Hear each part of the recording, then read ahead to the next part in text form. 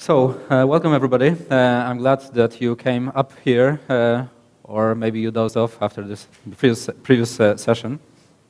Anyway, um, I'm going to cover today uh, the following topics.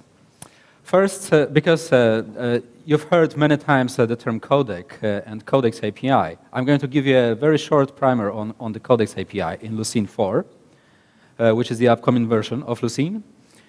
Uh, then I'm going to show you that uh, uh, possible applications of this codec API extend well beyond just mere coding of data. Uh, and then I'm going to talk about the field level updates, uh, uh, index updates in Lucene. Um, about myself, well, I've been using Lucene for various projects for many, many years. And uh, I created uh, Luke, uh, the index utility that uh, allows you to, you know, peek into how the, how the actual data looks like in the index, which uh, I'm told it's quite useful. Uh, I'm also involved in several Apache projects, and I'm an ASF member. currently, I'm working with Lucid Imagination, working on the LucidWorks platform. So, the codec API. Codec API is uh, basically about the data encoding and file formats on the disk. So uh, sooner or later, you want to store your data, right? Uh, you're indexing, and sooner or later, the data has to hit the disk. So in Lucene 3, 3.x, and before, this process was uh, more or less hard-coded. Uh, there were very, very little opportunities for customization. Uh, so the the data encoding was uh, fine-tuned to fit the particular type of data. For example, uh, postings were delta encoded and variable byte encoded. And um, uh, stored fields uh, were not really optimized. Uh, they were just, you know, written down as, as they were. and uh, various other tricks were played with the data to minimize the, the size of the on-disk data. But this whole process was more or less hard-coded. if you wanted to change something, uh, you were out of luck. Uh, the changes uh, would be massive and they would be widespread uh, throughout many, many core classes in Lucene. So bas basically, nobody did it uh, because it was so, uh, so difficult to do it. But in Lucene 4 and onwards, we have this very nice API. More or less, th th there were several people, several Lucene core team members that uh, spent a lot of effort to extract all these uh, parts from Lucene that dealt with da data encoding and put them into a single abstract API. And this is very cool because uh, it's a very easy to use uh, API and highly customizable. So in Lucene for uh, all data that is uh, written to disk and read from the disk, or actually written to directory and read from directory, goes through this codec API, with some minor exceptions. So, uh, if you want to customize uh, the layout of your data on disk, uh, then you have to implement a codec uh, class. And this codec will provide several so-called formats. And uh, these are, for example, segment info formats, postings formats, uh, stored field formats, term vector formats, doc values formats, and so on.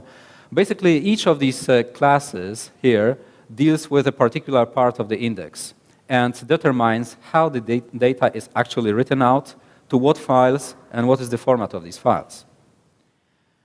So these formats, high-level formats, they provide consumers, uh, consumers in, in the sense that Lucene writes data to these consumers, and they will end up somewhere, right?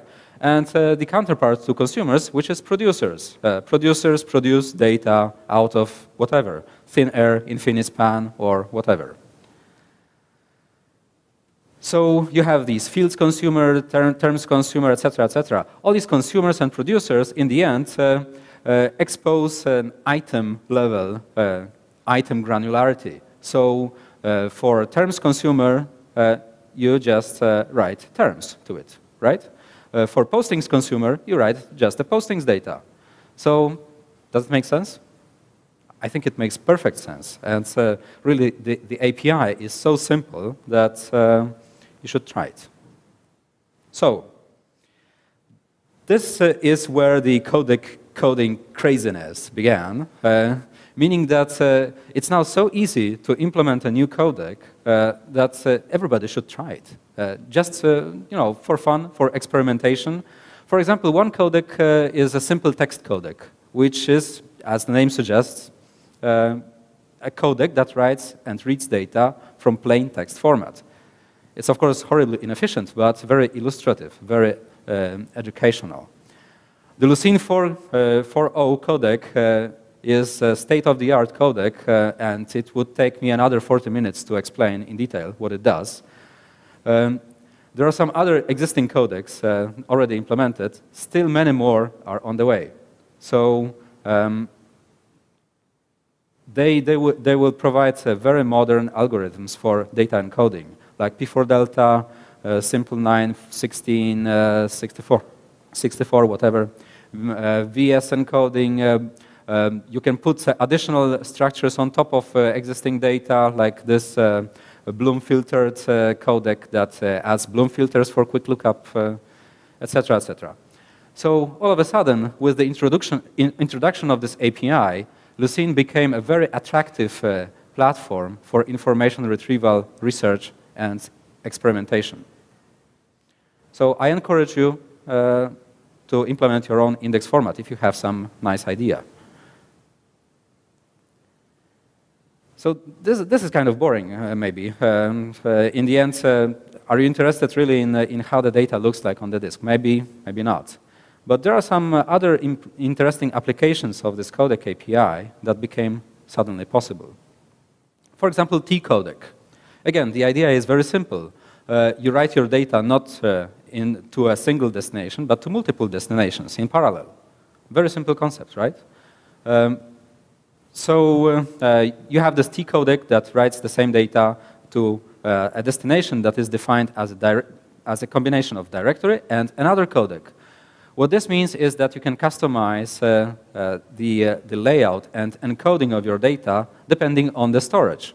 For, for example, you may, you may want to have a different encoding on HDFS, on Hadoop file system, and different encoding on some maybe relational database uh, uh, storage. Another, again, very simple concept, uh, but very powerful, is a filtering codec. Uh, there, is a, there is sometimes a need to get rid of uh, data that is not so crucial to, for getting the uh, correct top-N results from search. But the, that spurious data weighs down the index and makes all the other searches uh, take longer than, than necessary. So you can filter out data on the fly. Uh, there is another package in Lucene, uh, which is called pruning, uh, and that pruning package uh, allows you to run this uh, filtering as a post-processing step on a static index.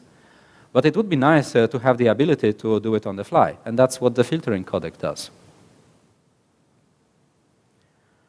So if we combine these two, uh, uh, many other interesting applications become possible. For example, on-the-fly index pruning. We have the Tee codec that splits the, uh, uh, the data into two streams. And then we have the filtering codec that gets rid, uh, that uh, eliminates, let's say, frequent words or some postings which have potentially small contributions to the top N results. And then it writes this uh, minimized index to an SSD or to an in-memory uh, or RAM directory. And uh, then we have the, uh, the, appending codec that writes data to the Hadoop file system. And then we have a smart uh, component here that decides whether I want a, a quick, possibly incomplete uh, answer fast, or whether I want a complete answer and I'm ready to, to wait. So that's one application. Another application is a single pass index splitter. Let's say you have a large index and it grows larger and larger and larger, and now you have to split it uh, into shards. Uh, well, uh, there are already existing solutions to do this, but they require multiple passes. So if your index is very large, then uh, of course you have to pump uh, all this data, which means uh, a lot of I.O., multiple times, as many as there are shards. But if you use this Tee codec, uh, then you can do it once. Uh, filtering codecs uh, define what parts of documents or what documents end up in which shard, and everything just goes poof in one go. That's nice, isn't it? So, another application that I'm going to describe in more detail is uh, field-level index updates. So currently, if you want to update a document in Lucene, um, well, you have to do uh, just that. You have to update the whole document. Uh, there are no field-level updates possible. So, and what's more, uh, what's even worse is that uh, the document update is not really an update. You, what, what happens underneath is that Lucene first deletes the original document and then adds a new document with a different uh, internal ID. Uh, throughout this presentation, I will use uh, this concept of ID. So whenever I, I, speak about ID, I'm not talking about a high-level application unique key or something like that. I'm talking about this uh, ephemeral integer numbers that identify uh, documents in a Lucene index, uh, or more precisely, in a single segment of a Lucene index. So uh, update is really a delete plus add. So you deleted an, a document and uh, its data uh, in reality doesn't go away. It's only hidden. It's uh, screened off uh, by this uh, special live docs bitset. And um, this means that for, a, for a certain time, terms and collection statistics are wrong because if you, for example, updated only one field in a document but all other fields remain the same, then it means that uh, term statistics uh, are counted twice for some terms. Yes, it will affect scoring. So, for example, uh, uh if you have a, uh, a document that, if you have a very rare term, uh, then it will severely affect the scoring. For example, if you have a document with KGB inside, right? And then you have uh, another document with KGB inside, then uh, all of a sudden the, the frequency of this term is twice as high as before, which is suspicious, right? Okay, so only after the, uh, this, uh, the segments are merged, actually this data is removed physically, and these uh, terms and collection statistics are corrected. So what are the problems with the current design? Maybe there are no problems. Well, uh, actually there are some. Uh, at least uh, for some use cases. First of all, uh, updates are only on the level of whole document. So if you have large documents with hundreds of fields, and then you only have to you know, attach a small tag to a document, which is a change, then you have to reindex the whole document, which means you have to somewhere store these fields, either in Lucene or somewhere else. You have to reassemble the, this whole document again, and you have to um, send it to the index writer, and uh, all the index fields need to be reanalyzed, etc., etc. All of this process uh, has to be performed again. So this is very costly. This is very costly, for, especially for large documents with small changes. You can use some workarounds. There are some workarounds uh, for this. For example, uh, one common uh, um, advice uh, would be to use a parallel reader. That's a special index reader that uh, takes two index readers and combines them sort of a, like a zipper, you know. Uh, it uh, matches uh, documents uh, with internally the same IDs so that they match each other and pulls, they, uh, pulls fields from one and, and the other index. The problem with this is that it's really not trivial to get these internal IDs synchronized. Um, and of course, for any update, again, you have to re rebuild uh, completely this uh, parallel index. So that's, uh, that's not so good. Um, if you don't have to search on this field, there is a simpler solution. There is this, uh, uh in Solr, you can use external file field, which underneath produces a, something called value source, which you can use as a source of values, basically. Uh, primitive values uh, like floating point numbers uh, or integers. and then you can perhaps use it as a source for function queries to affect your scoring this way. This doesn't require reindexing the main index. And of course, you can do various tricks uh, on the, at the application level. Uh, but all of this is sort of like a crutch. Uh, we would like to have the true updates, right, if possible. Something that, okay, I say, I have to attach a tag to this document, and then I send only this tag, and then it becomes automatically attached. This uh, is uh, going to be messy. I really wanted to put a different picture here, uh, like that of a holy grail or something, you know, uh, very, very inspiring. But uh, this situation with uh, updatable fields in Lucene reminds me rather of this situation, really. when you, let's say, as a young father, are, are tasked with changing a diaper, you know it's going to be messy. You know it's difficult. You don't know which end to approach, right? But you know you have to do it. So Let's do it. And uh, let's take a look at how this can be done. There was a paper in 2008 uh, uh, published by a team of researchers, researchers from IBM, uh, um, Vuk Ercegovac, uh, Vanja Josif, Josifovski, Ning Li, and uh, uh, a few other people that presented uh, the basic design for sub-document updates in inverted indexes. And this paper uh, presented a very nice and simple idea, uh, at least in theory. Um, in practice, it's, uh, it's, it's more complicated. Basically, you have this um, original data in the inverted index, and then you put sort of tombstones, like you say, kill this value. I have a newer version of this value. And then, using some magic process, uh, these new values are uh, merged with, uh, with, the, uh, with the original index. So uh, they, call it, they called it uh, overlay or stacked approach, which makes sense because it's sort of um, these new values would overlay or screen off the old values. If you, know, if you want to know more details, that's the reference to the paper. Worth reading, although hairy. So my proposal uh, uh, for this uh, design in Lucene uh, is that uh, it should be as simple as that. of course, implementation is going to be more complicated, but the idea is sound.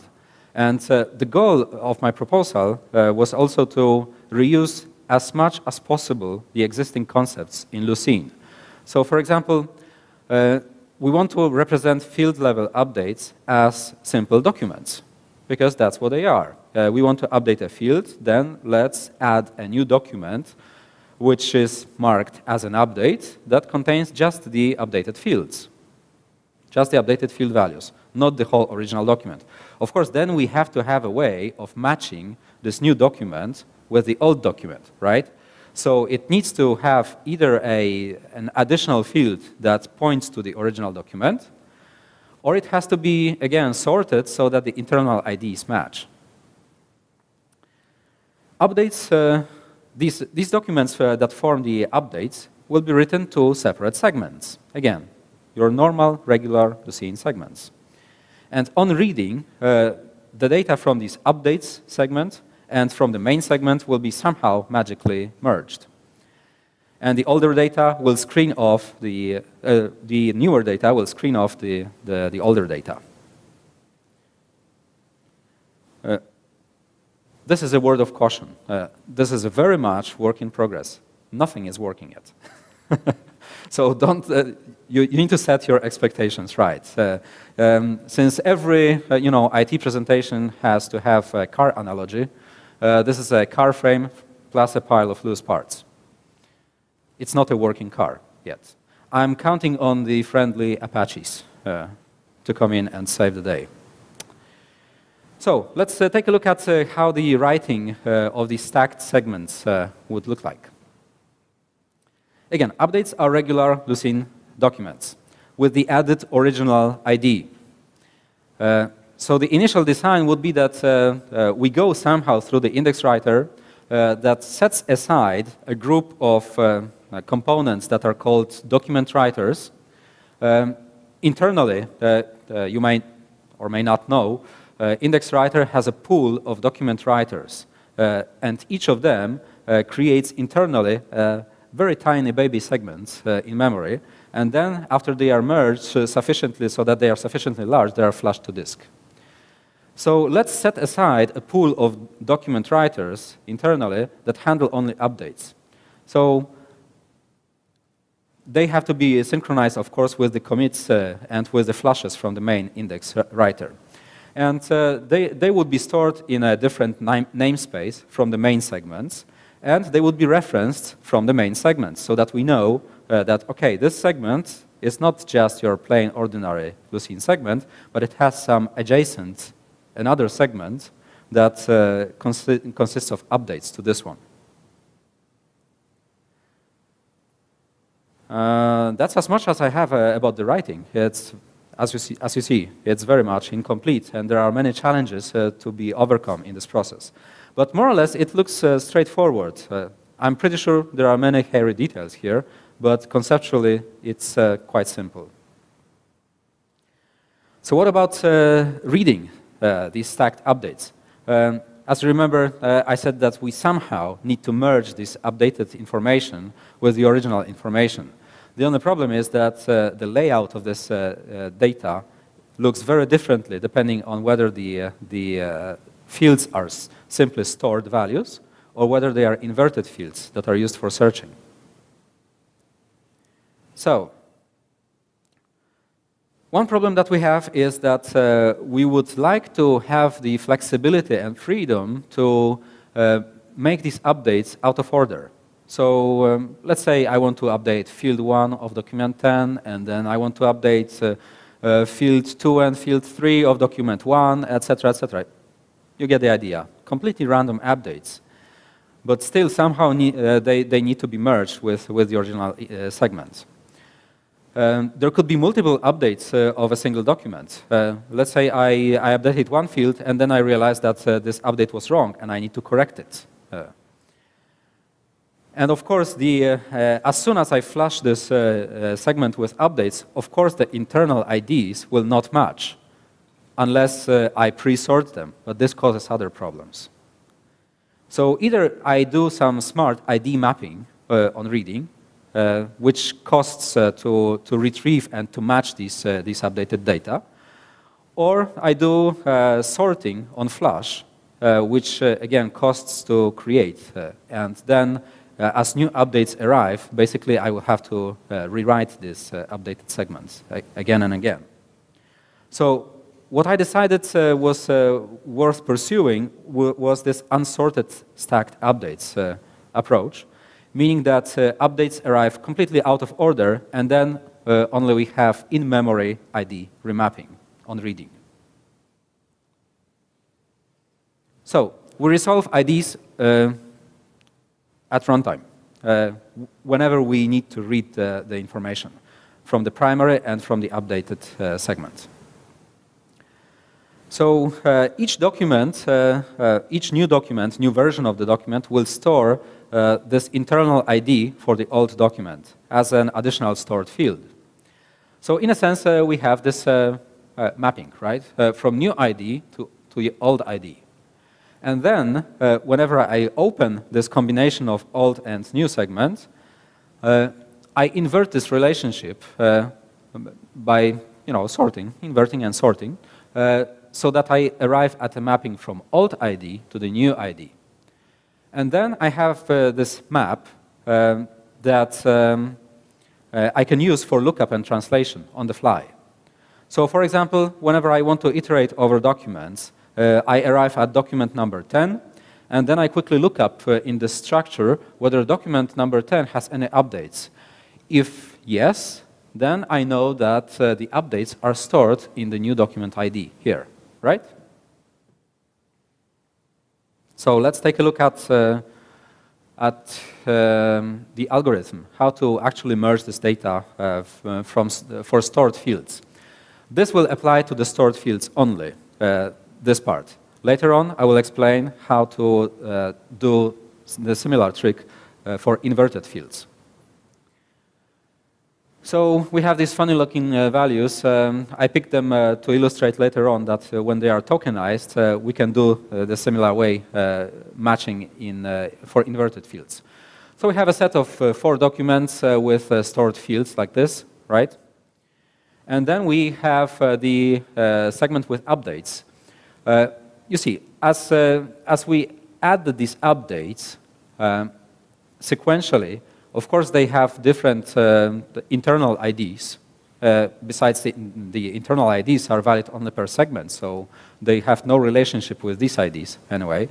But we stored the original ID, right? So we know that the do document ID number 0 has an update for document number 12 in the original segment and for field number 1. Does it make sense? Yeah, more or less. So based on this information, based on these two columns, uh, again, I can, I can create this mapping structure, right? If there are multiple updates, uh, I let the latest update win. So for example, for document number uh, 10, I have uh, two updates for the field 1, right?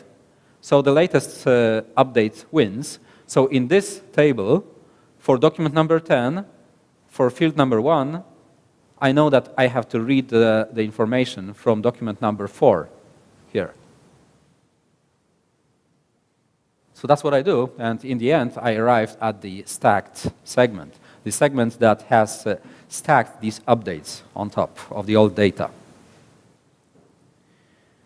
Um, that's uh, the same process basically in more detail, uh, uh, which I already went through. Uh, so we have this original document, we have the updates, uh, the latest updates uh, to the document 10 wins based on this table, right? so whenever I want to retrieve all the, all the fields for the document 10, I check, are there any updates to document number 10? The answer is yes. So I know, okay, for field 1, I need to take data from number 4 here. For field 2, I need to take data from number 1 here, which is, uh, by the way, the major cost of this approach. Because, uh, as you see, we are hopping uh, all over the place in this updates segment, right? So that's the major cost, the random seeking in, the, uh, in, in, this uh, secondary index. What about the inverted fields? Does it look scary? I hope not, because uh, the next slide is more scary. So. Uh, so we have the original segment. Uh, that's uh, how you can logically represent the inverted fields uh, in, in Lucene. So you have for field one, you have this term dictionary, A, B, C, D. That's the terms, right? Then uh, you have the postings for documents. And you know, for document number 10, term A occurs at positions 0 and 3. Uh, for document number 10, there is no term C in field 1, etc., etc., right? So basically, what we want to accomplish with, uh, with the updates, we want to exchange or we want to replace the value of, uh, of a cell in this table, logically speaking. In, uh, in reality, this, uh, this works with enumerations. So again, we have the uh, inverted fields of the update segment. Uh, and uh, again, uh, let's say for field 1, term A, in document uh, 0 in the update segment, I have postings 1 and 3, which, by the way, corresponds to the document number 12 in the original segment, right? I would like to use, uh, I would need to have some mapping structure right, to map uh, from, the, from these IDs to, to these IDs. Fortunately, I already have this mapping structure, so I can reuse it. This is our mapping table uh, from, uh, from the previous slides, which is good. We, we have at least some data that we can reuse. Uh, so, um, yeah, let's proceed here. Uh, again, for uh, field one and for document Number 10, we know that uh, these updates are obsolete because they are obsoleted by, by these updates, right? Which uh, follows from this table. Are you lost already? Are you with me? More or less? Hmm. okay. So uh, I will take a look at, uh, at uh, one row in a moment. So based on this original data and uh, this data in the updates and this mapping table, I arrive at the updated inverted fields here. That's less scary, I hope. Uh, so, for field 1, uh, term A in document 10, uh, I check the mapping table here. Yes, document 10 has updates. And I can see that updates for field 1 should be read from document number 4. So for field 1, term A, I read postings from number 4 here.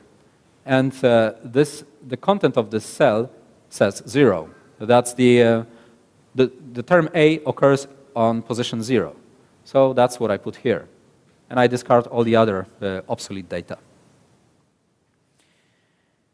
Again, uh, you can see that the major cost of this approach is uh, uh, we have to follow this mapping table, so we have to hop around in this uh, update segment, uh, doing random seeks.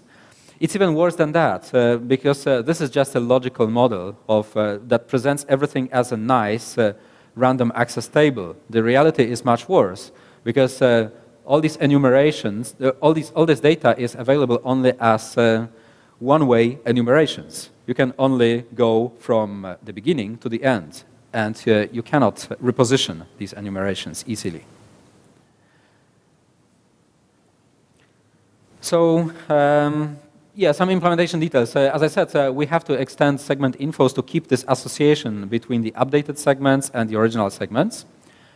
Um, there is a set of uh, uh, stacked codec producers that uh, are used to combine this data on the fly. And uh, that's, um, that's how it works. Uh, I mean, uh, we check first that there, is an, there is a segment with updates. If there is, we open both segments, and then we instantiate these producers, and we also create this mapping table, which is an in-memory structure. So uh, how to merge uh, field information? Let's say we have uh, field 1 and field 2 in the original index, but we have field 3 also in the updates. Well, that's very easy because uh, that's very little information. That's just a name, right? So this, uh, this information uh, we can easily merge in memory. The problem is that for posting lists, it's not so easy, and for stored fields, it's not so easy, because we would have to buffer everything in memory in order to resolve it. So we can't do this. Uh, instead, we use uh, something that I called leapfrog enumerators, um, which basically means that um, I, we have a, uh, sorry, we have, oh, yeah, that's nice. Leapfrog enumerators, uh, meaning that uh, first we initi initialize both, both the primary and stacked enumerator, and then we advance both. Uh, if we see that this one is larger, uh, then we keep uh, reading and advancing from the smaller. If they are equal, then we know that we have to merge the data uh, from the enumer enumerators, uh, for example, postings. Then we advance both, and then again, we look uh, which one is higher. And we go, you know, like leapfrogging, we go through the enumerations like this. This is uh, very similar to the uh, algorithm that is implemented already in multi-terms enumerations, but it's much simpler because we only have two uh, sources of, uh, of data. You may wonder what happens uh, if you want to merge these uh, segments. after, after adding new, new documents, etc., etc., you know that, that Lucene periodically merges segments into larger segments. Well, it turns out that we don't have to do anything because uh, we took care of uh, screening off these changes uh, at lower levels uh, in the codec API, it turns out that uh, when it comes to the merging, this data is already, it looks correct already. Because uh, the updates are hidden away in these enumerators. So that's good. as soon as a merge occurs, the updates will be rolled in into the new segment, and then we can open just plain segment reader without any of these tricks. So this should minimize the, uh, the performance impact. Uh, what are the limitations uh, of this uh, design? Well, first of all, uh, naturally, there is a search time cost.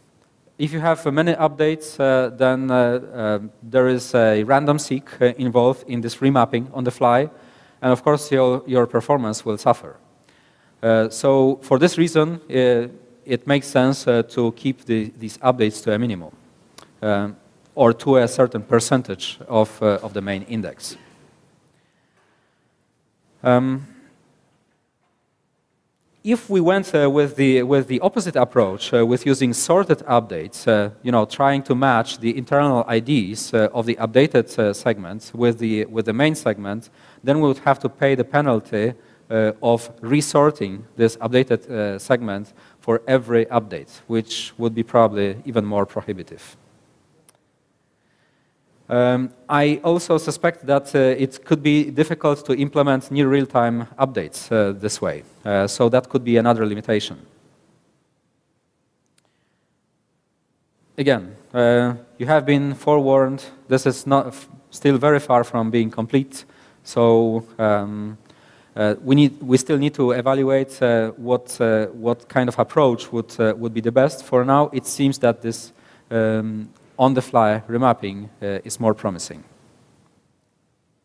And uh, yeah, the, what I presented doesn't handle, for example, deletion of fields. Uh, maybe the, this could be easily extended to this, maybe not.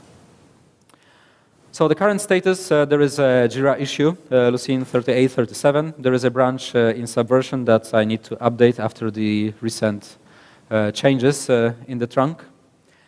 Uh, it's still very early stage. Uh, a lot of experiments uh, are needed, but there is some initial code.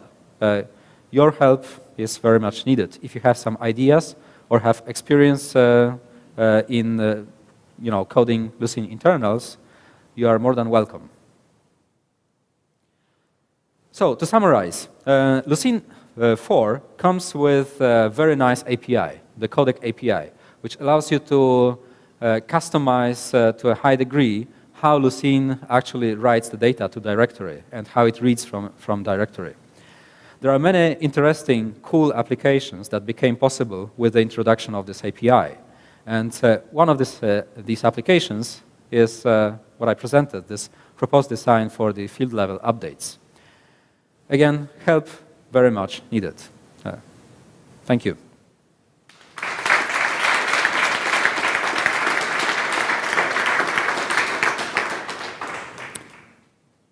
Any questions?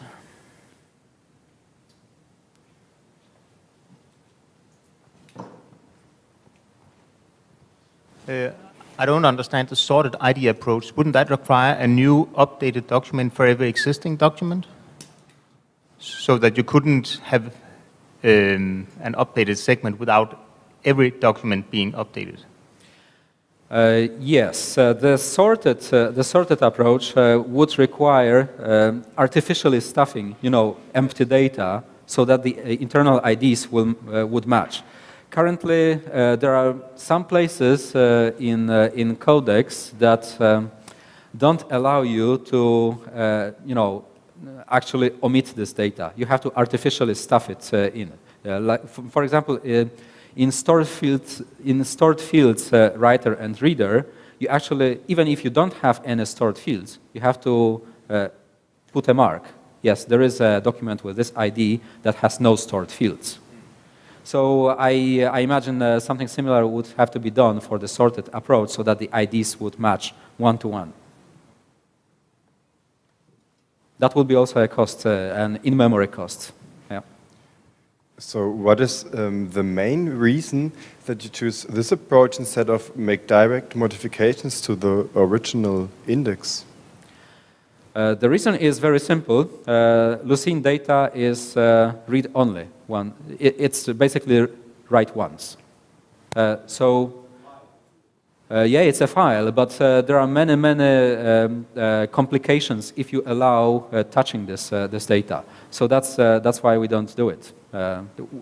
We, we, that, was, that was one of the major changes in Lucene 4, that segments are completely read-only. they are read, write once and read-only.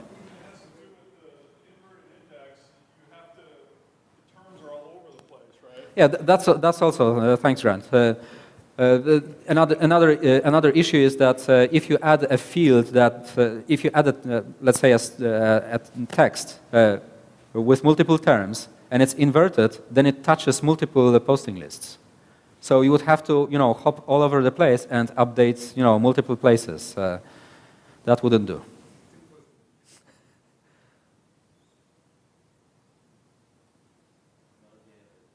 No, it, it's not a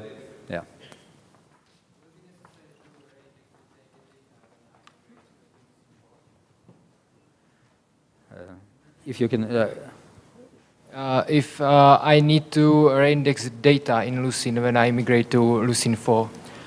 Uh, no, uh, Lucene 4 uh, provides a um, back, back, backward compatible implementation of Lucene 3 codec, so to speak, or at least it simulates the encoding format that Lucene 3 used. So yes, you can open um, um, indexes from version 3.x, but you cannot write indexes 3.x with, with Lucene 4. Yes. As soon as they are merged, uh, they, uh, they are ported uh, forward to, to the new format.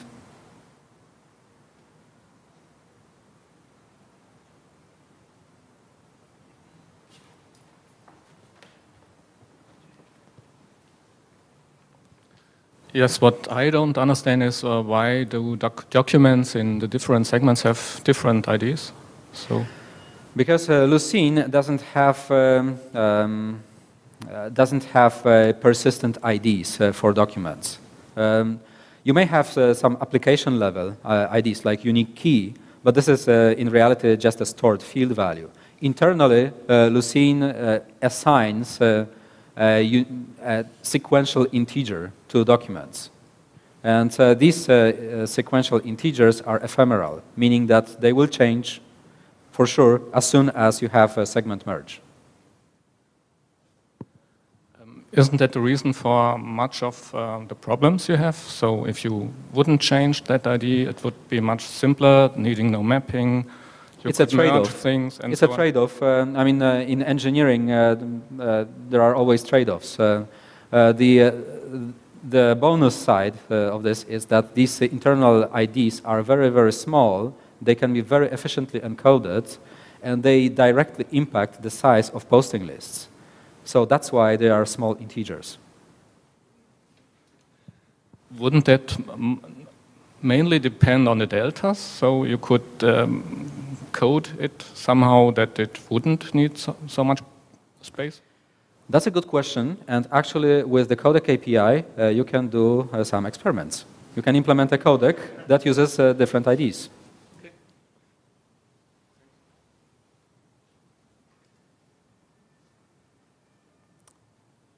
I'll be hanging around uh, and I'm available tomorrow as well. So if you have more questions, thank you.